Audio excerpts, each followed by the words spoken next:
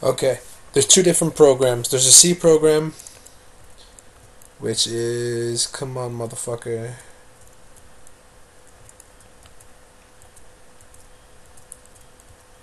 Here we go. The headers include Time, Studio, UniSTD, X11, XLib, XUtil, Extension, Screensaver. You can see that it creates a struct.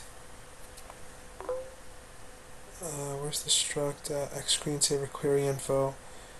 Screen equals default int screen if display equals open display null return one. Screen equals default screen display.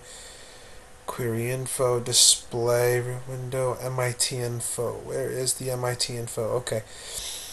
Declared a static variable MIT info, which is actually just a pointer to a struct. The struct is xScreenSaver info. And X xScreenSaver query info pushes that information into that struct right there. It fills it.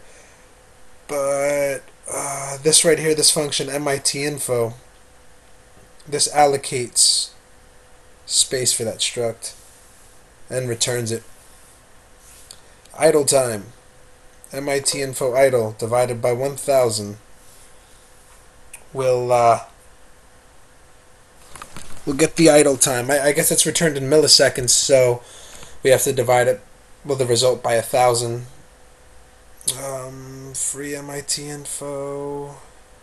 I just you have to free the allocated space with X free, and then close the display, then return idle time and I guess this just prints out the the time.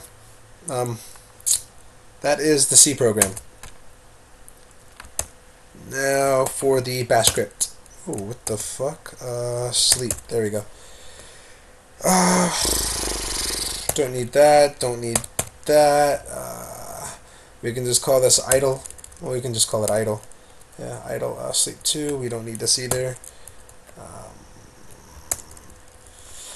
idle. Computer is idle. Zero lock enter. Okay, here we go. So I'm going to recompile. Here we go.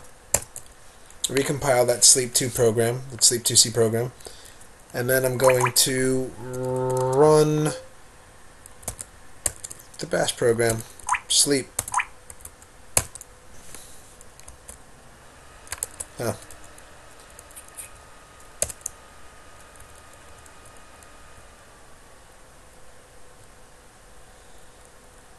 Then echo computer is idle. Else echo time is ah idle. There we go.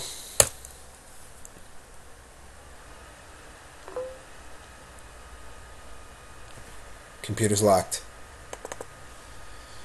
Alright, uh, and the only way to get out of the lock is to type in your password for the user that you're logged in as the program calls xtrlock, which you can install on a Debian system with apt-get via apt-get xtrlock.